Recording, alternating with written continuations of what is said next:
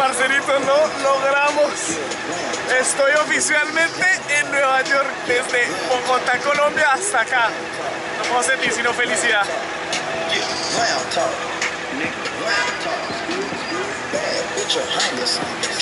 Increíble. Ah, pero felicidad, parceritos. Aquí, 20 de julio, desde Times Square. ¿Pueden creerlo? Porque yo no lo puedo creer, estoy impresionado. Ha sido un día pesado, pero valió la pena. Qué alegría, parceritos. Lo logramos, estamos en Nueva York, en Times Square. Esto no puede ser más espectacular. Gracias, Nueva York, por tremenda recibida. Qué increíble, qué sensación la que tengo, qué sensación. Estoy, y es- todo el mundo me mira como un extraterrestre porque estoy como un extraterrestre. Está haciendo 35 grados, está haciendo mucho calor. Me voy a ir antes de que la policía me joda. ¡Qué locura! ¡Qué locura! Arranco de aquí antes de que la policía me empiece a molestar, pero miren esta belleza. Miren esto, es que miren dónde estamos. Es que es de no creer, esto es increíble. Estamos en Times Square. Miren, miren. Disfrútenlo, parceritos. Yo lo estoy interiorizando. Me parece increíble. De no creer no estar acá. Bueno, ahora sí me toca ir a descansar porque fue una ruta larguita. Y pues toca descansar. No todo es turismo. Chao Times Square, nos veremos pronto. El mejor recibimiento, ¿no les pareció, parceritos? ¡Ay, qué nota! No, qué emoción. Físicamente lleno de adrenalina y de energía. Así que me voy de farra en esta ciudad que no duerme. Bueno, menos mal alcancé a llegar aquí para celebrar el 20 de julio. El 20 de julio, eh, hoy estamos cumpliendo 208 años desde que firmamos con José, el español José Llorente, la independencia. Ya, ya. Thanks, bro. Desde que firmamos, bueno, qué bacán eso.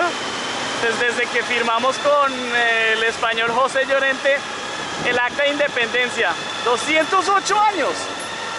Para mí, para muchos millennials, eso puede que no signifique nada, porque la verdad, eso fue hace mucho tiempo y pues, pues digamos que son cosas de la historia que no nos emociona mucho. Bueno, no nos toca tanto. Pero lo que sí me emociona es tener una fecha con la cual compartir con todos los colombianos. Una fecha para compartir con los que crecimos comiendo arepa, pan allá en Bogotá, ajiaco, bandeja paisa, una chuleta bayuna. Y tenemos tantas cosas en común, hemos vivido tantas cosas peligrosas. El que crezca en Colombia crece en cualquier parte del mundo, somos guerreros. Es compartir un día especial con todos y viajar así es que uno se da cuenta. Pucha, hay que valorar de dónde venimos. Yo creo que cada día lo aprecio más y más. Saber que venimos de una tierra tan increíble. Sí, hay muchos que se la están robando, pero también tenemos tantas riquezas que solo nos quejamos. Colombia es increíble. Y estoy orgulloso de decir que soy colombiano. Y en Times Square sacar la bandera de Colombia y lucirla me hace sentir orgulloso. Llevo a Colombia en el espíritu, le demuestro a las personas que los colombianos somos gente bacana, somos chistosos, somos buena gente, somos buenas personas y echados para adelante. Lo que nos proponemos lo logramos. Entonces, solo quería compartir este momento de emoción con ustedes, parceritos. Gracias a Dios por hacerme colombiano. Feliz 20 de julio. ¡Wow! Miren, este es el Parque Central. ¡Wow! Tremendos edificios. Y vamos a... El mapa me está mandando por, por la mitad del parque. No, no puedo creer que estoy manejando pepperoni en Nueva York. No me cabe en la cabeza. Listo, miren, vamos a cruzar el Parque Central. El lugar a donde vamos es de un señor llamado Daniel. Vive en Harlem. El señor Daniel es un conocido de mi queridísimo cuñado. No sé si ustedes se acuerdan de un cuñado mío que se le rompió la cadena de la, 6, de la XT660 de Juan. Bueno, Juan Briseño, gracias Juan Briseño por tu calidosa conexión con este parcero. Eh, wow. Y obviamente a mi hermana, muchas gracias. Y a Isabela y a Martín, una hermosa familia. Me pusieron en contacto con este señor que se llama Daniel. Oiga, yo pensé que eso era de películas, eso que salía ese humito de, de abajo, pero no, miren. ¿Será que lanzo una pizza a ver si las tortugas ninja salen? bueno, entonces sí, muchísimas gracias a ustedes por recomendarme a Daniel. Daniel vive aquí, él me está esperando, un tocayo, muy buena gente. Es el hermano del el padrino de mi hermosa sobrina Isabela. Entonces, bueno, ahí hay una conexión. Entonces, sí, él dijo, claro, bienvenido, ven aquí. Y él vive aquí en la Gran Manzana, me parece lo máximo, en Harlem. No me queda lejos ni nada, sino estamos acá. En la vida uno no necesita dinero, uno necesita amigos. Parcelitos, llegamos. Uy, qué calor está haciendo. 34 grados. 18, 10. Ay, la banderita de Colombia. Bueno, miren, estamos en un lugar llamado Harlem. Pues obviamente aquí sí no puedo dar nada por fuera. Pues, o sea, le echo llave a las demás cosas, pero vengo bien agotado. Así que voy a darle átomos, parceritos, y a subir las cosas. Ya les cuento.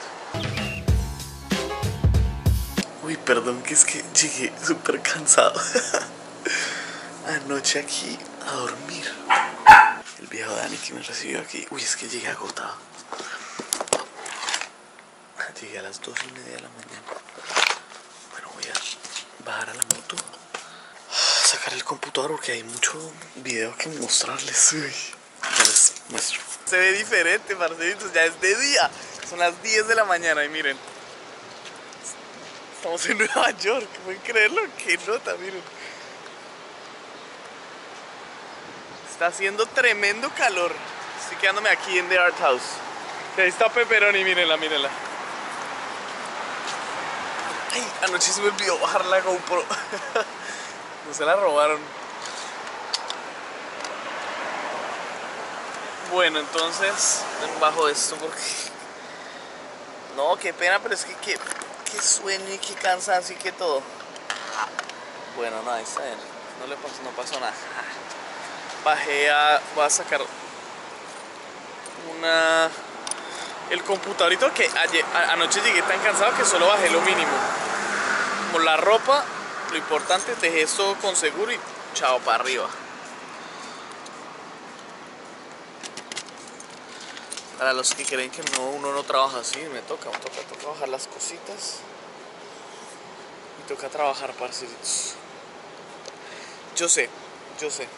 Necesito urgentemente un corte de pelo, yo sé. Pero sí, em, noticia. Ahorita les muestro en el celular. Este fin de semana declararon em, emergencia por heat wave, o sea, una ola de calor. En este momento estoy sintiendo el sol quemándome. No pensé que llegaríamos a estos puntos, una cosa de locos. Pero bueno, voy a ir a trabajar mis parceritos. Fue una buena decisión haber viajado de noche.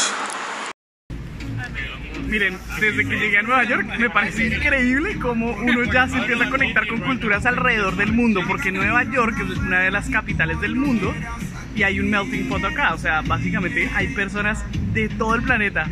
Y Dani, el de la casa, el bacán, el teso, el reteso, mírenlo. Bienvenido, bienvenido.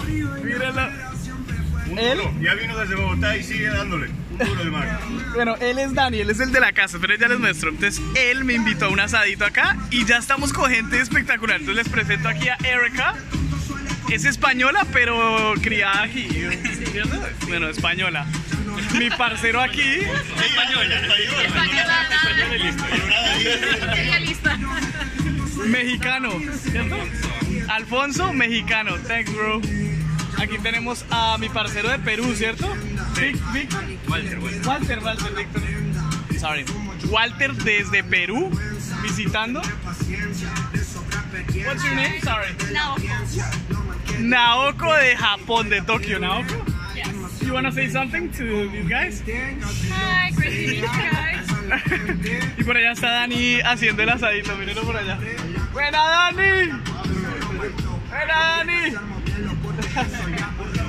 Ay, decir que algo? se, se olvide. Ay, de Maggie. ¿Quieren decir algo? Falta nadie. Ay, falta Maggie. Sí, cuando llegué, un animal empezó a ladrar durísimo. Eso de- despertó a todo el edificio y era la perra guardiana del edificio. Entonces, mírenla. Mira a Maggie, miren a Maggie. Maggie. Ella es ella. ¿Sí o no? ¿Y esa es la perrita de quién? Pues de mi parcero Dani, el viejo Dani.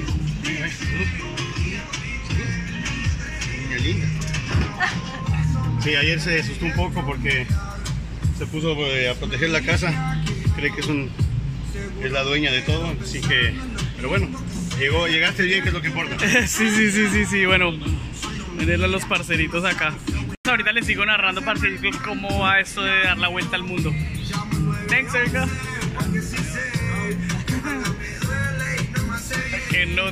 Terminamos el día comprando la cena. Qué buena la comida. Miren, si alcanzan a ver esta rata, mírenla, mírenla, mírenla. ¿Sí la ven? Miren esa ratica como va por ahí. Estamos en la ciudad de Nueva York.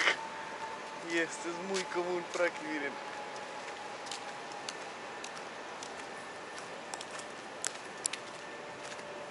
Miren, miren esa gorda.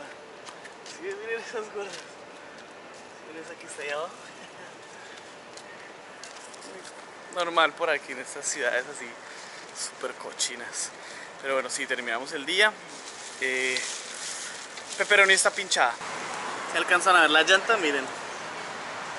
Pero lo que pasa es que, pucha, venimos desde hace rato con dándole duro y no es que Pepperoni esté pinchada, es que ya la llanta está para cambiar, ya como que completó su vida útil y no está bien andarla así. Entonces lo, que voy a hacer mañana madrugadito es que le voy a inflar bien esa llanta. Me voy a 5 minutos de aquí en la moto eh, a un taller que hay por aquí en la ciudad. Y en ese taller lo que hago es que me, me pongo las pilas y le completo los líquidos a la moto, le cambio la llanta de una vez, le hago las cositas necesarias a la moto para estar tranquilo de que siempre me va a funcionar. En este tipo de viajes lo que siempre, o sea, lo más cómodo es tener la moto siempre lista, siempre siempre, mejor dicho, bien cuidada. ¿Por qué? Porque alguna emergencia me toca salir o moverme o yo tener la tranquilidad de que la moto está bien, me, da- me da mucha sensación de tranquilidad. Y Pepperoni se ha comportado como una reina conmigo como para no pues, responderle bien. Entonces vamos a hacerlo mañana, parceritos. Con esto terminamos el video, el video de hoy, parceritos. Espero les haya gustado. Nos vemos mañana.